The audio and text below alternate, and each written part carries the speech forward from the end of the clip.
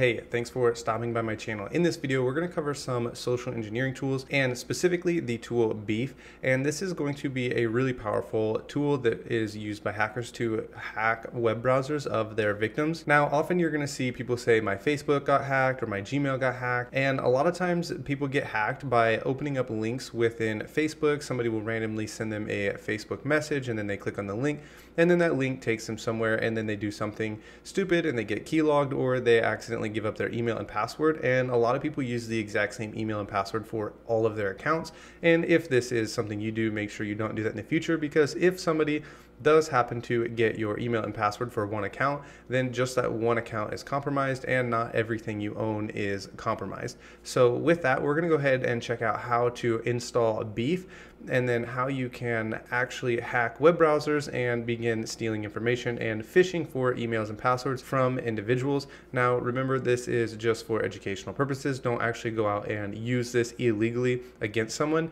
And if you're wondering if it's illegal or not, if you don't have specific permission to actually hack this person and their computer from them for testing purposes, then it is illegal. You specifically have to have permission to do this. And if you really want to be safe, I would say have written permission so that you cannot get in trouble even in the future. You would be surprised at how many times I get asked to hack somebody's cell phone or hack a Gmail account, or somebody will tell me, My girlfriend lost her Facebook account. Can you hack it for me? And really, they just want to try and get passwords to other people's stuff. This is extremely illegal and will get you in trouble. So use this tool wisely. Let's go ahead and jump into it. All right, so the first thing we're gonna wanna do is install Beef and then I will show you how to start it up. So it's actually really simple. We're just gonna type in sudo apt update and we'll let that run. And once that has finished running, we're gonna go sudo apt install and then we want beef dash xss and then we'll let this run. We'll say yes and this might take a minute. We're gonna go ahead and say okay. And now you should be able to come up to your dropdown and search for beef and type and hit beef start and you'll type in your password and then beef is going to go ahead and open up i'm going to switch to a different attack machine and we'll actually grab this one's browser so I'll see you in just a second. Okay, once you have launched your beef by running beef start up here, and you have entered in your password. And if it's your first time entering your password, you might actually be prompted to make a password for your Beef account. And the default is Beef Beef, just in case you weren't. And I'll go ahead and log in and you'll be brought to this page right here. Now, a couple things I need to explain. First, this little hook URL right here, this is my IP address that I am running on my local machine. And I actually don't like running beef from up here, this beef start. I'll show you how I like to run it. I will come into the user share beef XSS and then I will launch beef from there.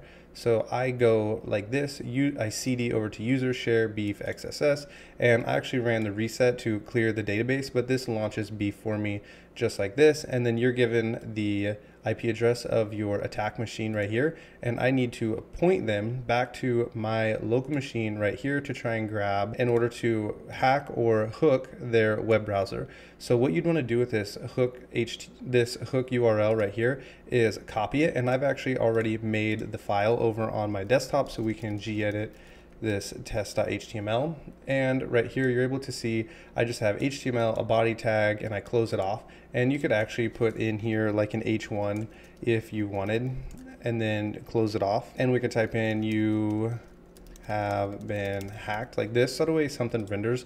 But what is really important is that you grab this little hook URL right here and you put it in right here as a source. So that way it'll actually point when they visit our web server back over here. Now what you have to do at this point is actually start a web server and host up your little script. So this is pretty simple to do. I save mine on my desktop. So what I do is I type in sudo python 2 dash m simple http server port 80 i don't like to use the python 3 server that's why i'm using python 2 and now we have a simple http server running on our local machine. And when they visit our ip address dash test.html they'll grab that malicious code. So what we would do is come over here and we can send somebody a link. I'm actually going to send myself the link. I have a second Kali machine running over here that we're actually going to hook in our browser right up here. And once we hook it, it will pop up and we'll have a bunch of different options of things we can do with it. So first things first is we have to fish. And so I'll type in my email address here and we'll just type in phishing email. And I spelled that wrong. So we have our phishing email and then we'll just say email. And then we want to create our link. And you have to remember what we are pointing our victims to. I need my IP address, which is right here. And we're actually going to be pointing them to port 80 and then our test.html. So we can slash test.html. And then we'll name this check out this image and we can say okay. Now, if we send this, it's going to go to our self, but if we come over to our other Gmail, we can refresh this, click on this, and now when we open this link, you have been hacked pops up Really, if you were doing some kind of phishing, you wouldn't want to do this because they're immediately going to know something happened. But if you come back over to our beef panel, we have this right here and it tells us the machine that we are on. And it gives us all of this information about the browser that we have now hooked and then a bunch of different things we can do with it. Okay, now a very basic and simple way to do this social engineering is going to be to use our Google phishing, especially because what we did was we had them open this Gmail email right here and you could use anything like Facebook or any other way to send them this link and this also works on mobile devices as well and they've been brought to our beautiful website we have made right here and let's say we wanted to try and grab their Google email and password. We can come down here to the social engineering and we can go to Google phishing. We'll click on this and it'll bring up what we need over here. And if we hit execute, this will go ahead and bring them automatically to this page right here. Looks like they're on Google, but really they're still on our malicious website.